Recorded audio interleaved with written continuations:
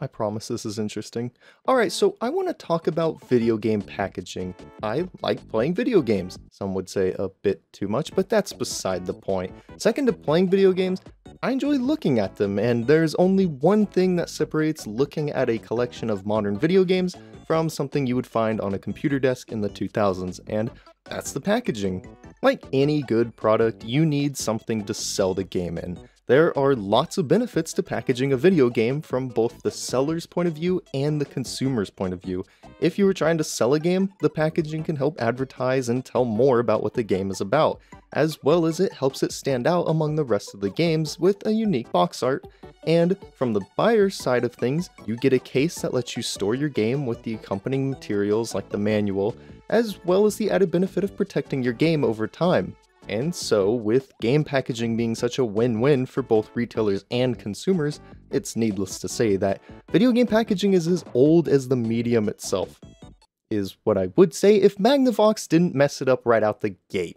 Just the cartridge out in the elements with no labeling or identifying characteristics, let alone any packaging for them. All you get is a number, which, to be fair, saying you own literally the first home console video game and it just being one would be really cool. Thankfully, everything else going forward has had some sort of packaging for its games. Do you like boxes? I like boxes. But do you know who doesn't like boxes? The original owner of these. Yeah, so the first commonplace packaging found for video games was thin cardboard boxes, and it wasn't entirely clear to everyone at the time that this was something you should keep. And I can't really blame anyone for throwing these boxes away, not only are the cartridges sturdy enough to store on their own without a case, but even stepping away from retro consoles, I've thrown away my fair share of video game boxes. To this day, I regret throwing away the box that bundled Pokemon Let's Go Eevee with the Pokeball Plus controller. You may be asking, how much do I regret throwing that box away? A couple hundred dollars much? Now, if you really need your cartridge games to have a form of packaging but you can't find any with the box, you can always just treat the cartridge shell as the packaging. It's honestly not much different of an experience. You just open them up, pop the game in the console like normal, and boom! Problem solved. Boxes clearly had their problems. People threw them away, they were flimsy and prone to being destroyed, and just overall not the best solution for long-term storage. Unfortunately, Nintendo stuck with cardboard boxes for packaging their video games all the way up through the Nintendo 64, which by that time it was bad enough they were even still using cartridges, let alone selling them in boxes. Sega came up with the durable plastic cases for their games way back on the Master System over 10 years before the Nintendo 64 launched. Sure, the Master System cases may reek of engineering graph paper, but hey, it was a start.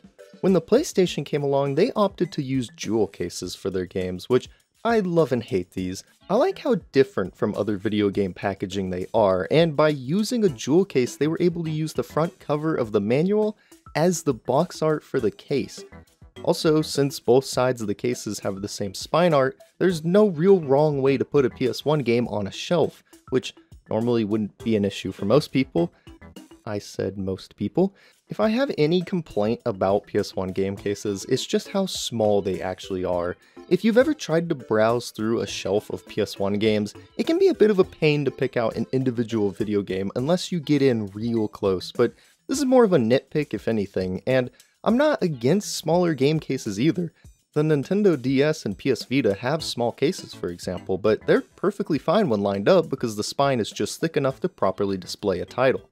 Which, while on that point, all the handheld consoles packaged their games in boxes up until the DS, but one unique packaging solution was the Sega Game Gear.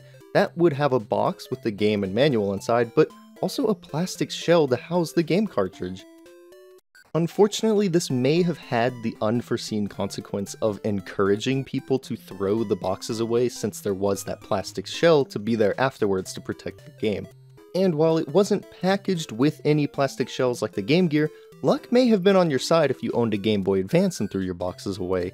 If you upgraded to a DS, not only could you still play your GBA games with that system, but the cases were now plastic and even have a spot to hold your Game Boy Advance games a lot of people have started to print off custom box arts and use DS game cases to store their Game Boy games, which, because of this, that means the Nintendo DS game packaging is more or less multi-purpose. There were a few other consoles to have cases with the ability to hold more than just a game and manual. GameCube and PS2 cases had a spot to store memory cards. These were more of a relic of the time. Modern consoles obviously have their storage built into the console, so there's no need to have cases that can hold memory cards. But for back then, this would be really handy to have a memory card stored with your games if it wasn't just plugged into the console itself. But I don't want something useful. I want a hunk of plastic that, if anything, makes me question if it's worth keeping. Oh, much better. We've come a long way in terms of standardizing video game packaging. We started with literally nothing, went to boxes, and then started to introduce and experiment with plastic hardshell cases, and finally we ended up on DVD and Blu-ray cases. Perfectly fine evolution of product design. So then why do some consoles have to go and just mess things up? The Xbox One is easily the worst offender of just taking what works and absolutely shitting the bed with it. I want to know who exactly it was that decided to switch the case around and have the game disc on the left side and the manual on the right. This is like putting milk before your cereal. Sure, it works, but you definitely didn't have to do that. The Xbox and Xbox 360 had it correct, so why just all of a sudden change it? I'd be less upset about this thing that barely affects me if I were able to just flip the case upside down and switch it, but they had to pull a PlayStation 3 and mold the branding to the top plastic of the case. The terrible cherry on top of all of this is that these cases have carried over to the Xbox Series X too, so there's no sign of this changing anytime soon. These Xbox cases just feel flimsy too. I don't really know how to describe it, but compared to a PS4 and PS5 game case, and heck, even the Nintendo Switch game cases, the Xbox One and Series X cases are a lot cheaper feeling. They bend and flex more, and the plastic is not as smooth and glossy feeling. It's more of a rough, not so nice feeling plastic. I will give Microsoft this, however, the translucent green cases are really nice across all generations of Xbox and help unmistakably identify any game as an Xbox game. I'd even go as far as to say it influenced the blue of PlayStation cases. It could have also come from the way Blu-ray cases look, but I wouldn't doubt if Xbox's green was somewhat of an influence. But while I may have just dogged on Xbox for their modern cases, that doesn't mean everyone else is safe. The whole thing that even got me started thinking about video game packaging was the GameCube cases. I don't know why they are so subtly different from a normal DVD style case. Obviously the discs are a different size so they need to be able to accommodate for that, but that's not what I'm talking about. Have you ever paid attention to the way it clicks shut? There's these big blocks that are interlocking and fit together. It's kinda hard to describe, but I don't think I've ever seen a case close like this. It was clearly a deliberate choice, but surely it would cost more per case to mold this mechanism compared to just a traditional DVD case at the time. Now, for Sony's game packaging crime, all I have to say is PlayStation 3, more like PlayStation, there's three different case designs. Yeah. Okay, I lied. I do have more to say, but not much since the point is pretty apparent. You go from having literally Spider-Man font to the iconic black PS3 header and design, to then mimicking the PS4 box covers? It's really strange and I don't entirely know why they went through that last revision. Thankfully not a whole lot of games used this though, so it's kind of avoidable. And if anything, this was all indicative of just the life cycle of that console and Sony going forward. Up until now, I've only been talking about traditional game packaging, boxes and cases, cardboard and plastic, but what about the weird stuff? Well, we have boxes again.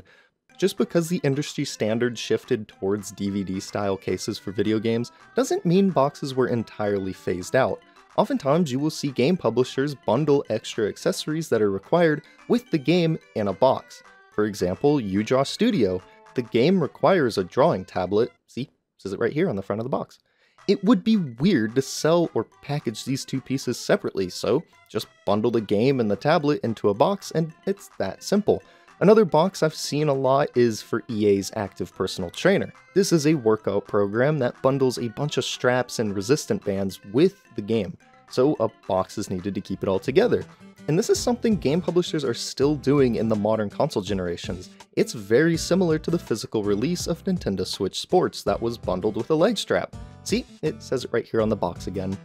Nintendo Switch Sports box feels pretty underwhelming in my opinion, especially compared to what's come before it. I would almost consider it a waste of packaging because you open it up and it's just the game and the leg strap in there. Not even a little divider to section off the game from the leg strap. They just both sit right inside the box and there's a ton of empty space in there. But I'm a sucker for these box games. I don't exactly know what it is, but I just love when a game has a big box with it. Sega somehow found out about my weakness and has a few games with special packaging themselves. It just gets me every time. For some of their special releases, they do this cardboard sleeve that goes around the game and it also holds an art book. And I really like these releases.